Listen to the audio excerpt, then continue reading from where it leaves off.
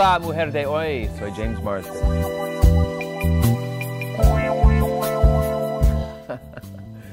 uh, it's only happened a few times, so um, no. Uh, boy, what would be a crazy thing?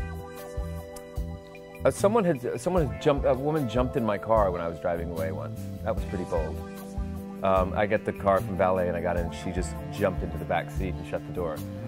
Oh yeah, that, it didn't work, but uh, that I said that was pretty bold. Uh, jump on the car. um, what's the craziest thing I've done? I don't know. I, am pretty reserved, I guess. As a, I'm, if, if I'm if I'm interested in a woman, I, I try to be a gentleman, and and, um, and uh, I guess I'm old-fashioned that way. I don't do anything too crazy or rely on gimmicks or anything. I don't know.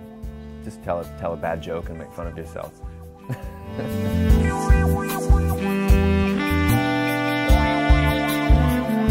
um, well, I have a list.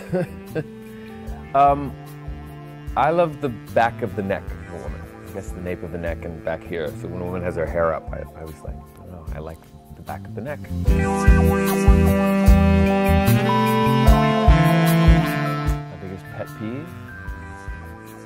Uh, when they think we don't know where we're going. uh, most of the time they're right, but but still we don't want to hear about it. We, we know where we're going. I don't have any pet peeves as women. I love women. I don't, there's nothing about them that bothers me.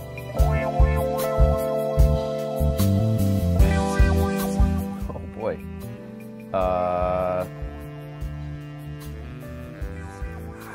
probably not too crazy, but um, um, on the beach at night, it's probably it's pretty cliche, but yes trying to stay within that whole romantic thing. Not like on the top of the Eiffel Tower.